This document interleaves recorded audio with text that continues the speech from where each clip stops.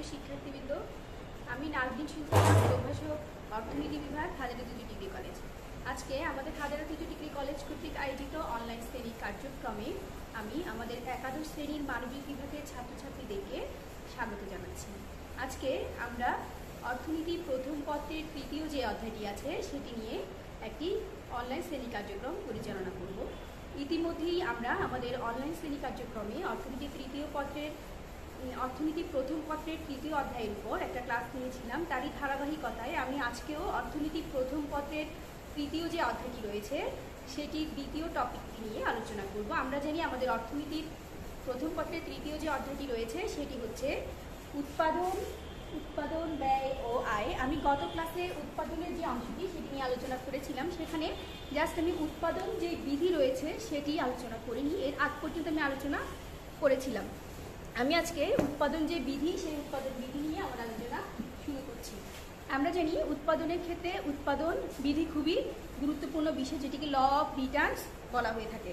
সাধারণত উপাদান বৃদ্ধি এবং উৎপাদনের যে পরিবর্তন, তাকেই উৎপাদন বিধি বলে থাকে। এই উৎপাদন বিধি দু ধরনের হয়ে থাকে। একটা হচ্ছে স্বল্পকালীন উৎপাদন বিধি, একটি হচ্ছে দীর্ঘকালীন উৎপাদন বিধি। স্বল্পকালীন উৎপাদন বিধি তিন ধরনের হয়। যেমন ক্রমহ্রাসমান, প্রান্তিক উৎপাদন বিধি, ক্রমবর্ধমান, প্রান্তিক উৎপাদন বিধি এবং স্থির বা আনুপাতিক প্রান্তিক উৎপাদন বিধি। আবার দীর্ঘকালীন যে উৎপাদন বিধি রয়েছে, সেটিও কিন্তু তিন ভাগে বিভক্ত। এই দীর্ঘকালীন উৎপাদন বিধির মধ্যে রয়েছে ক্রমহ্রাসমান, মাত্রাগত উৎপাদন বিধি, ক্রমবর্ধমান, মাত্রাগত উৎপাদন বিধি এবং স্থির বা আনুপাতিক মাত্রাগত উৎপাদন বিধি। আমি এখন এই তিনটি বিধির যে মূল বক্তব্য সেটি তোমাদেরকে একটু বলে আমাদের আজকে নেক্সট যে টপিক মূল আলোচনার বিষয়, সে উৎপাদন ব্যয় নিয়ে আলোচনা করব। সুপ্রিয় শিক্ষার্থীরা, ক্রমহ্রাসমান প্রান্তিক উৎপাদন বিধি, এটি নিয়ে আমি প্রথমে আলোচনা করছি। আমরা জানি উপাদানের নিয়োগের পরিবর্তন করলে বা উপাদানের যে বৃদ্ধি ঘটে, উপাদানের বৃদ্ধি যে হারে হয়, উৎপাদন যদি তার চেয়ে কম হারে বাড়ে, তাহলে সেটি হচ্ছে ক্রমহ্রাসমান প্রান্তিক উৎপাদন বিধি। এটা ক্রমহ্রাসমান প্রান্তিক উৎপাদন বিধি। আর উপাদান যে হারে বাড়ে, উৎপাদনের পরিমাণ যদি তার চেয়ে দ্বিগুণ হারে বাড়ে, সেটি হচ্ছে ক্রমবর্ধমান প্রান্তিক উৎপাদন বিধি। আবার উপাদান যে অনুপাতে বাড়ে, উৎপাদন যদি ঠিক একই অনুপাতে বাড়ে, তাহলে সেটিকে বলা হয় স্থির বা সমানুপাতিক উৎপাদন বিধি। সুপ্রিয় শিক্ষার্থীরা, আশা করি তোমরা উৎপাদন বিধিটিতে আরও বিস্তারিতভাবে আলোচনা করবে এবং বিস্তারিতভাবে তোমরা পড়বে এবং বই থেকে বিস্তারিতভাবে এই দীর্ঘকালীন ও স্বল্পকালীন উৎপাদন বিধি সম্পর্কে পড়লে তোমরা নিজেদের মধ্যে আরও ভালোভাবে উৎপাদন বিধি ধারণাটিকে ধারণ করতে পারবে। আমি এখন আমার আজকের যে আলোচ্য বিষয়, অর্থাৎ আমি যেটি আজকে আলোচনা করব, সেটি হচ্ছে উৎপাদন ব্যয় বা উৎপাদন খরচ, যেটিকে বলা হয় প্রোডাকশন কস্ট সে প্রোডাকশন কস্ট নিয়ে আলোচনা করব। উৎপাদনকারী দ্রব্য উৎপাদন করার ক্ষেত্রে যে খরচ করে থাকেন, এই উৎপাদন খরচ বা প্রোডাকশন কস্ট কি আমি সেটি বলছি। উৎপাদনকারী উৎপাদনের জন্য যে খরচ করে থাকেন, সেটি হচ্ছে উৎপাদন খরচ। হিসাবের দিক থেকে এই উৎপাদন খরচ হচ্ছে তিন ধরনের। হিসাবের দিক থেকে উৎপাদন খরচকে তিন ভাগে ভাগ করা যায়। একটা হচ্ছে মোট ব্যয় বা টোটাল কস্ট যেটিকে টিসি দ্বারা চিহ্নিত করা হয়। আরেকটি হচ্ছে গড় ব্যয় বা অ্যাভারেজ কস্ট যেটিকে এসি দ্বারা চিহ্নিত করা হয়। এবং সর্বশেষ যেটি আছে, সেটি হচ্ছে প্রান্তিক ব্যয় বা মার্জিনাল কস্ট যেটিকে এমসি দ্বারা চিহ্নিত করা হয়। সুপ্রিয় শিক্ষার্থী, এখন আমি হিসাবগত দিক থেকে এই উৎপাদন ব্যয়ের যে প্রকারভেদ আছে সেই তিনটিকে একটু বিস্তারিতভাবে আলোচনা করছি। প্রথমে আসা যাক মোট খরচ বা টিসি মোট খরচকে প্রকাশ করা হয় টিসি দ্বারা। মোট খরচকে প্রকাশ করা হয় টিসি দ্বারা আর গড় খরচকে প্রকাশ করা হয় এসি দ্বারা। মোট খরচ হচ্ছে টিসি গড় খরচ হচ্ছে এসি আর প্রান্তিক খরচ হচ্ছে এমসি প্রথমে আসা যাক টিসির ক্ষেত্রে। নির্দিষ্ট সময়ে নির্দিষ্ট পরিমাণ দ্রব্য উৎপাদন করার জন্য যে খরচ হয়ে থাকে, তাকে মোট খরচ বলা হয়। আমি আবারও বলছি, নির্দিষ্ট সময়ে নির্দিষ্ট পরিমাণ দ্রব্য উৎপাদন করার জন্য যে ব্যয় হয় সেটার সমষ্টিটাই হচ্ছে মোট খরচ। টিসিকে সাধারণত, এই মোট খরচকে সাধারণত টিসি দ্বারা প্রকাশ করা হয়। যদি একটি কলমের উৎপাদন খরচ পঞ্চাশ টাকা হয়, মনে করি আমি একটি কলম উৎপাদন করব, যেটির উৎপাদন খরচ হচ্ছে পঞ্চাশ টাকা, তাহলে এরকম বিশটি কলম উৎপাদনের যে মোট খরচ, সেটি হবে বিশ ইন্টু পঞ্চাশ, অর্থাৎ এক হাজার টাকা। এখন টিসি রেখার যে চিত্ররূপ, এই টিসি রেখা কেমন হয়? টিসি রেখার যে চিত্ররূপ, আমি সেটি একটু তোমাদেরকে দেখাচ্ছি। টিসি রেখা সাধারণত ভূমি অক্ষে কিউ লম্ব অক্ষে টিসি ধরা হয়। লম্ব অক্ষে টিসি ধরা হয়ে থাকে। টিসি রেখা সাধারণত মূল বিন্দুর উপর থেকে উচ্চারিত হয়। অর্থাৎ টিসি রেখা কেমন হয়? টিসি রেখাটি সাধারণত মূল বিন্দুর উপর থেকে উচ্চারিত হয় বা এটি মূল বিন্দুর উপর থেকেই উৎপত্তি ঘটে থাকে।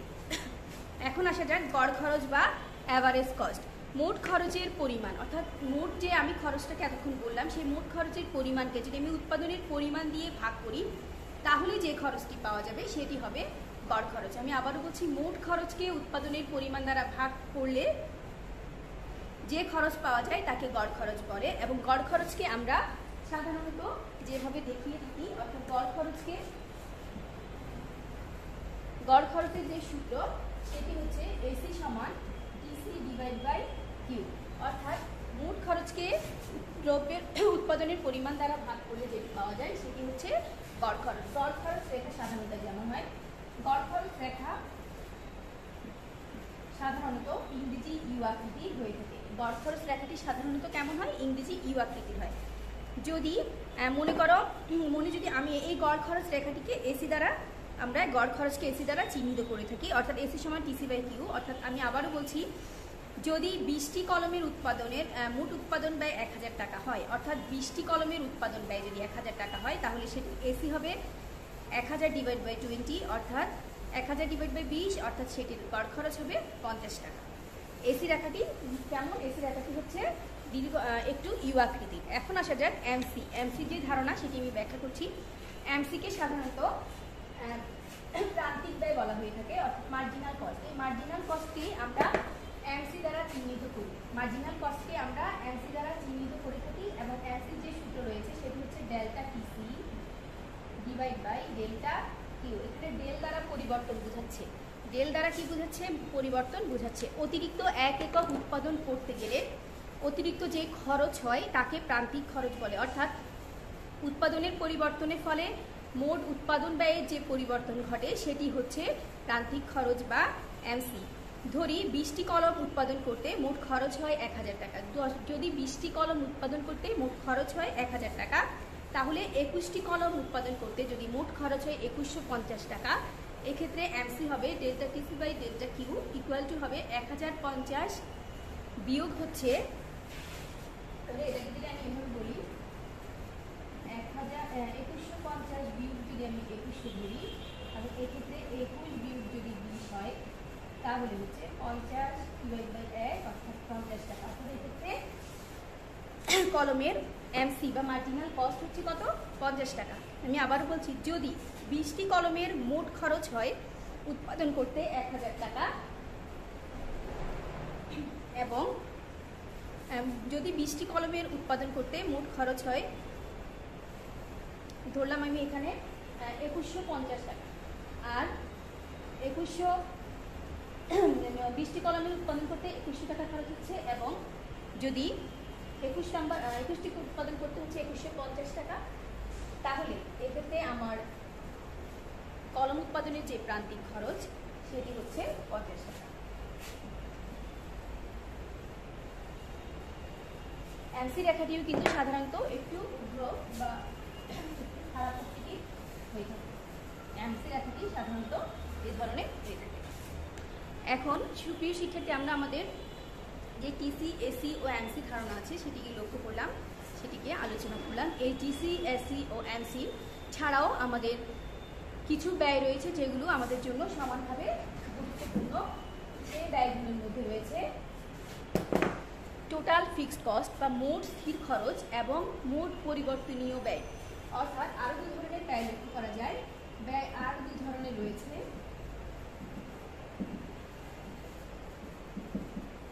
আরও দুই ধরনের হয় যেমন এক নাম্বারে হচ্ছে মোট স্থির খরচ। মোট স্থির খরচ যেটাকে প্রকাশ করা হয় টিএফসি দ্বারা এবং আরেকটি হচ্ছে মোট পরিবর্তনশীল খরচ। মোট পরিবর্তনশীল খরচ। এই মোট পরিবর্তনশীল খরচটি হচ্ছে টি ভি সি এক্ষেত্রে টিএসসি যে রেখাটি আছে টিএসসি রেখাটি হবে ভূমি অক্ষের সমান্তরাল অর্থাৎ টিএসসি রেখাটি হবে ভূমি অক্ষের সমান্তরাল তার- কারণ এখানে উৎপাদনের পরিবর্তনের ফলেও ব্যয়ের কিন্তু কোনো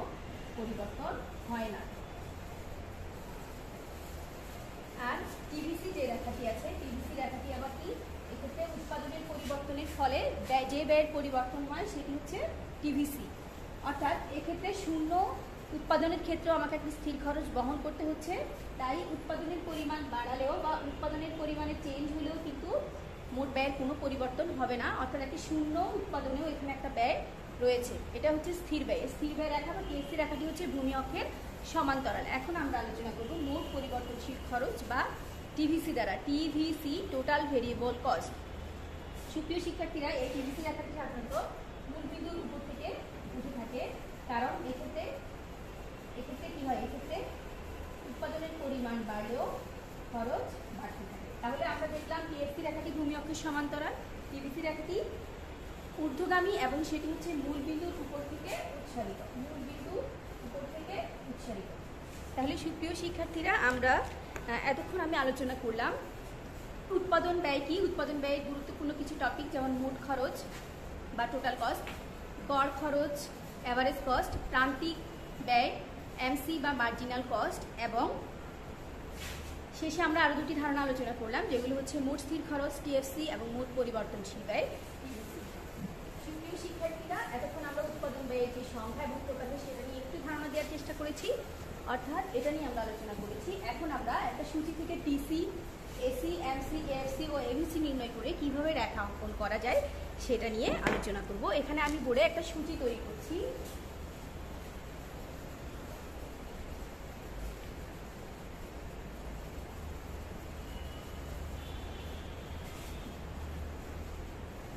আমি একটা সূচি অঙ্কন করছি যেখানে প্রথম যে আহ, আছে সেখানে আছে দ্রব্যের একক প্রথম সূচিটা আহ, সেটা হচ্ছে দ্রব্যের একক যাকে পি দ্বারা প্রকাশ করা হয় সেখানে zero one two three four এরপরে আছে মোট স্থির ব্যয় মোট স্থির ব্যয়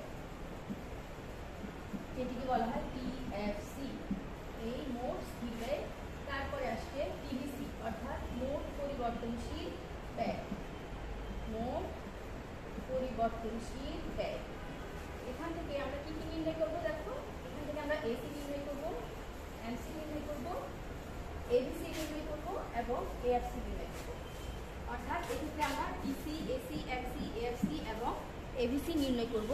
আমি প্রথমেই বলছি প্রথমে আমি টিসি অঙ্ক করে দেখাচ্ছি। টিসি নির্ণয় করে দেখাচ্ছি। টিসি সমান হচ্ছে টিএফসি যোগ ডিবিসি তাহলে এখানে আমি মানগুলো লিখছি। আমার টিএসসি ঘরে সবগুলো মান কিন্তু টেন ওয়ান টেন সবগুলো টেন সবগুলো হচ্ছে টেন এক্ষেত্রে শূন্য, উৎপাদনেও কি? একটি নির্দিষ্ট পরিমাণ স্থির খরচ বহন করতে হচ্ছে, এবং টিভিসির ঘরে হচ্ছে শূন্য আট, শূন্য, এখানে আমি এইট তারপর হচ্ছে এইটিন তারপর হচ্ছে ফোর ঠিক আছে, এখন আমরা প্রথমে বের করব। তাহলে এবং হচ্ছে কি? তাহলে দশ আঠারো তারপরেরটাতে আসবে টোয়েন্টি ফোর তারপরেরটাতে আসবে দশ যোগ আঠারো আঠাশ দশ যুগ চব্বিশ এখানে আসছে চব্বিশ। তাহলে আমরা কি কি পেলাম? টিসি এবং টিভিসির মান যোগ করে করে আমরা এখানে কি পেলাম? টিএসসি এবং টিভিসি যোগ করে করে আমরা টিসি পেলাম। তাই লিখলাম টিসি সমান টিএসসি প্লাস টিভিসি এখন আমরা এসি নির্ণয় করব। খেয়াল করো এসি এসির পর আমি এমসি বের করব। প্রথমে আমি এসি নির্ণয় করব। এসি সমান হচ্ছে টিসি ডিভাইড বাই কিউ তাহলে প্রথম ঘরে তো দেখা যাচ্ছে আমার টিসি প্রথম ঘরে টেন তারপরে জিরো এখন টেন দিয়ে যদি আমি জিরোকে ভাগ দিই, তাহলে সেটা ইনফিনিটি আসবে। তাই এখানে আমি ডট দিলাম। এরপর এমসি এমসি সমান হচ্ছে delta DC divide by delta Q ঠিক আছে? তাহলে দ্বিতীয়টা যদি সেমভাবে আমি টিসি ডিভাইড বাই কিউ করতে চাই, তাহলে দ্বিতীয় ঘরে আমার আসবে টিসি ডিভাইড বাই কিউ করলে মানে এসি করলে আমার তৃতীয়টাতে আসবে আঠারো এইটিন আঠারো দিয়ে যদি আমি এককে ভাগ করি, তাহলে এখানে আসবে এইটিন দুই দিয়ে যদি এটাকে করি, তাহলে এটা আসবে টুয়েলভ এবং এরপরে আসবে এটাকে করলে নয় দশমিক তিন তিন, অর্থাৎ নাইন পয়েন্ট থ্রি থ্রি লাস্টে গিয়ে যখন আমি চার দিয়ে চৌত্রিশটা ভাগ করব, সেটা হবে eight point five eight point এবার আমি এমসি বের করব। এমসি বের করার একটা সহজ পদ্ধতি আমি তোমাদেরকে শেখাচ্ছি। আমরা তো জানি delta TC divide by delta Q কিন্তু আমরা এছাড়াও একটি সহজ প্রক্রিয়া আছে যেটার মাধ্যমে আমরা এটা বের করতে পারি। প্রথমেই তোমরা এমসি বের করার সময় কী করবে? টিসির প্রথম ঘরে যা আছে সেটা লিখে দেবে টিসির প্রথম ঘরে এখানে আছে টেন তাহলে এখানে টেন লিখলাম। তারপর আমি যখন মানটা বের করব, দ্বিতীয়টা থেকে প্রথমটা বিয়োগ অর্থাৎ আঠারো বিয়োগ দশ, তাহলে কত হচ্ছে? এইট চব্বিশ বিয়োগ এইটিন তাহলে আসছে সিক্স আঠাশ বিয়োগ ফোর তাহলে ফোর চৌত্রিশ বিয়োগ যদি টোয়েন্টি এইট হয়, অর্থাৎ thirty four minus twenty eight করলে সেটা হবে সিক্স আমরা পেয়ে গেলাম এমসি তাহলে আমরা দেখো কি কি পেলাম? টিসি এসি এমসি এখন আমরা এভিসি এবং এ এফসি বের করব। এবিসির যে মান রয়েছে এখানে আমি এবিসি বের করছি। এবিসি বের করার সময় ইবিসি কে কিউ দিয়ে ভাগ করব। আর এএফসি বের করার সময় ইএফসি কে কিউ দিয়ে ভাগ করব তাহলে এবিসির ঘরে দেখো, যদি আমি ভাগ করি, তাহলে মানগুলো আসছে প্রথমটা ডট। এইট সেমভাবে আসছে সেভেন সিক্স এরপর এএফসি ঘরে যেটি আসবে, আমি প্রথমে এবিসি বের করেছি হ্যাঁ এবার আমি এএফসি বের করব, তাহলে প্রথম ঘরে ডট টেন যদি আমি ভাগ করে করে করি, তাহলে হবে এবিসি এএফসি ঘরে টেন তারপর একটা আসছে জিরো পয়েন্ট জিরো ফাইভ তারপর একটা থ্রি পয়েন্ট থ্রি থ্রি এবং লাস্ট ওয়ান আসছে টু পয়েন্ট ফাইভ তাহলে সুপ্রিয় শিক্ষার্থীরা, আমরা প্রথমেই দেখলাম, একটা আমি উদ্দীপক নিলাম উদ্দীপকের দ্রব্যের একক দেওয়া ছিল, এবং দেওয়া ছিল টিভিসি এবং টিএফসি সেখান থেকে আমরা টিসি বের করলাম এসি বের করলাম এমসি বের করলাম এএফসি বের করলাম, এবং এফসি সেই সূত্রগুলো এখানে আছে, আমি আবারও বলে দিচ্ছি। টিসি সমান টিএফসি প্লাস টিভিসি অর্থাৎ টিসির যে সূত্র, সেটি হচ্ছে কি? টিভিসি প্লাস টিএফসি এসি সমান TC divide by Q MC হচ্ছে delta TC by delta Q অথবা টিসির প্রথম ঘরে যে আমি হব এমসির প্রথম ঘরে যা আছে, সেটি বসাবো। এরপর দ্বিতীয় থেকে প্রথমটি, তৃতীয় থেকে দ্বিতীয়টি, চতুর্থ থেকে তৃতীয়টি, এবং পঞ্চম থেকে চতুর্থটি। এভাবে বিয়োগ করে করে আমি এমসির মান পেয়ে যাব। এরপরে আসছে এবিসি এবিসির যে সূত্র, সেটি হচ্ছে টিভিসি ডিভাইড বাই কিউ অর্থাৎ টিভিসিকে আমি দ্রব্যের একক দিয়ে ভাগ করে এবিসি পাবো। সেমভাবে টিএফসি থেকে যখন আমি এএফসি নির্ণয় করব টিএফসি থেকে টিএফসিকে আমি কিউ দিয়ে ভাগ করে এএফসি পাবো। সুপ্রিয় শিক্ষার্থীরা, এখন আমি তোমাদেরকে এই যে মান নির্ণয় তো আমরা বুঝেছি, এই যে উৎপাদন উৎপাদন, ব্যয় আয়, এই তিনটা অংশের মধ্যে ব্যয় অংশটা কিন্তু গুরুত্বপূর্ণ, কারণ এখান থেকে বিভিন্ন সালে প্রশ্ন এসেছে। এখন আমি একটি চিত্র এঁকে তোমাদেরকে বুঝিয়ে দিব। আশা করি তোমরা বাসায় বাকি চিত্রগুলো আঁকবে এবং খুব সহজভাবে অনুশীলন করবে। তাহলে আমি যদি এখানে টিসি রেখাটা অঙ্কন করি এখানে ধরবো দ্রব্যের একক এখানে আমি টিসি রেখা অঙ্কন করছি। তাহলে দ্রব্যের একক আছে আমার শূন্য থেকে শুরু করে ওয়ান টু থ্রি ফোর আর ওইদিকে দেখো, এখন আমি এখানে টিসি আঁকছি তাহলে টিসির সর্বোচ্চ মান আছে আমার থার্টি ফোর তাহলে এখানে আমি ধরলাম টিসি তাহলে সর্বোচ্চ মান আছে আমার থার্টি ফোর তাহলে আমি যদি ফোর করে ধরি ফোর এক, দুই, তিন, পাঁচ, ছয়, সাত, আট, বারো, ষোলো, বিশ, চব্বিশ, আঠাশ, আমার আরেকটা ঘর লাগছে, বত্রিশ, ছত্রিশ, তাহলে এটা হচ্ছে টিসি এই ঘর সমান চারলে তাহলে নয়, দশ, এগারো। তেরো, চোদ্দ, পনেরো, সতেরো, আঠারো উনিশ প্রত্যেক ঘর সমান আমি চার নিলাম। তারপর এখানে ধরলাম পঁচিশ ছাব্বিশ, সাতাশ পঁচিশ ত্রিশ, একত্রিশ বত্রিশ তেত্রিশ, চব্বিশ। তাহলে খেয়াল করো, আমি প্রত্যেকটি ঘর সমান চার নিয়েছি। এখন আমি টিসি রেখা আঁকবো ভূমি অক্ষ হচ্ছে কি? উৎপাদনের পরিমাণ বা দ্রব্যের একক। আর লম্ব অক্ষ আমি ধরবো কি?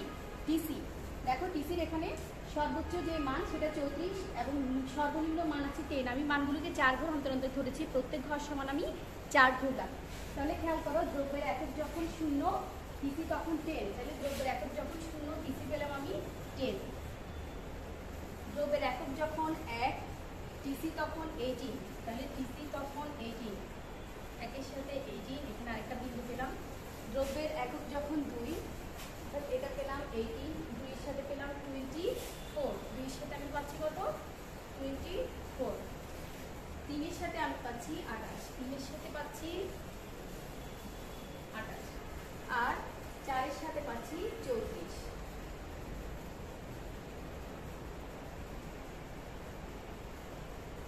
এখন যদি এই মানগুলো আমি ধরি, তাহলে যে রেখাটি পাবো সেই রেখাটি হচ্ছে টিসি এবং এই বিন্দুগুলো হচ্ছে এ বি সি ডি এই বিন্দুগুলো যদি আমি যোগ করে দেই, তাহলে সেটি হবে টিসি রেখা।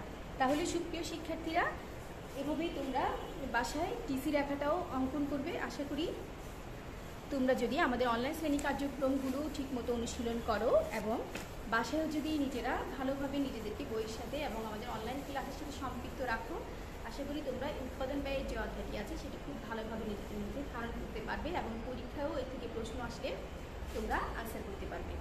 তাহলে সুপ্রিয় শিক্ষার্থী, খুব শীঘ্রই আমি আমাদের অনলাইন শ্রেণি কার্যক্রমে আমার যে তৃতীয় ক্লাস সেটি নিয়ে তোমাদের সামনে উপস্থিত হব এবং সেখানে অর্থনীতি প্রথম পত্রের তৃতীয় অধ্যায় যে আরেকটি অংশ বাকি রয়েছে, অর্থাৎ উৎপাদন, ব্যয় ও আয়, আয়ের যে অংশটি আছে সেটি নিয়ে আলোচনা করব।